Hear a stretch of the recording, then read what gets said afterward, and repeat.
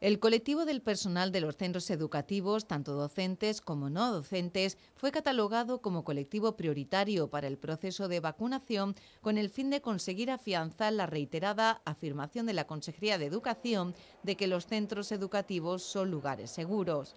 La primera discriminación que sufrió este colectivo fue hacer una distinción entre mayores y menores de 55 años, dejando a los primeros sin vacuna asignada, aun siendo el personal más vulnerable por edad. A día de hoy hay personal que ha sido llamado para ser vacunado por su franja de edad y no por pertenecer a un colectivo profesional prioritario y esencial, dejando esta vez discriminados a los de menor edad.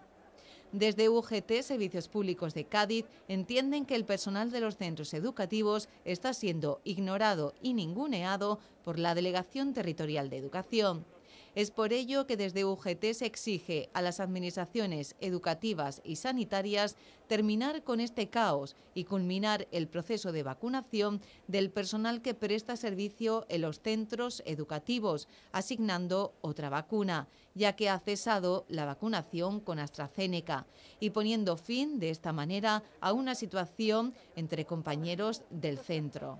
Cabe destacar que mantener esta situación en el tiempo resta eficacia al objetivo de crear en los colegios espacios seguros ante la COVID-19.